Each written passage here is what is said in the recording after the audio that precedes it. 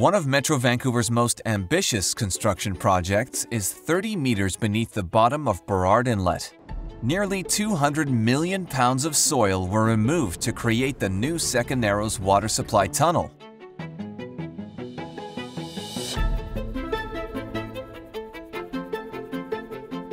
This is a cutter head, which is the front part of a tunnel boring machine. Essentially, the way that the tunnel boring machine operates is it creates a thrust with hydraulic cylinders to push it into the ground, and the cutter head spins to chew away at the earth. In April 2020, the cutter head was lowered down a shaft in North Vancouver. This new tunnel is just over a kilometer long and will replace existing water mains that carry drinking water from North Vancouver to North Burnaby. The tunnel will eventually house three new water mains, which will increase capacity to provide water to the region's growing population. The tunnel boring machine, or TBM for short, was similar to this one. It needed to withstand immense pressure as it dug underneath the ground and water of Burrard Inlet. Our machines are always under the groundwater table. That's why you use pressurized face tunneling. And people often ask, well, what are you going to do when you're mining underneath the river? I'm like, nothing. It's just a normal Tuesday for us. An elevator trip down an underground shaft is the first step to reaching the TBM. Next is a mine train that transports people and materials in the tunnel.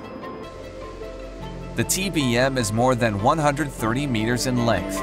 Inside, it's a bit like being on a submarine. Operator Phil Birch commands the control room.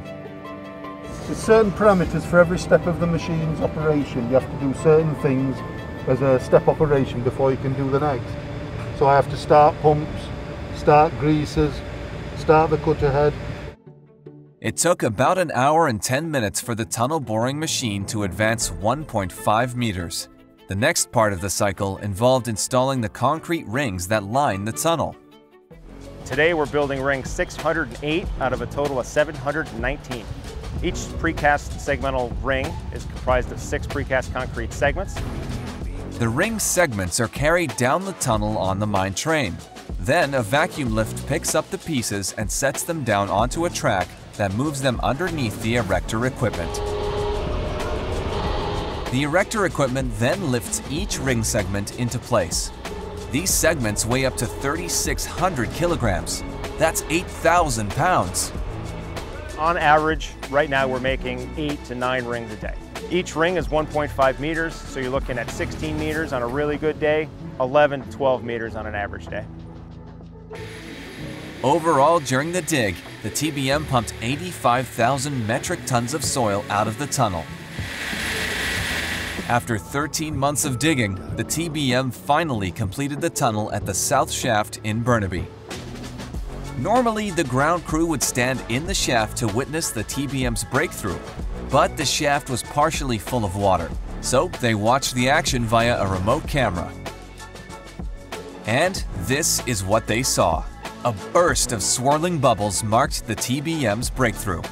There's much more work to be done on this tunnel, but for now, the team can take pride in the fact that this was the first time a TBM of this type has ever been used in Canada. We've done something that has never been done before. We've got a great group of guys and gals put together. We've got a very strong team, and it's going to be a very successful project at the end of the day.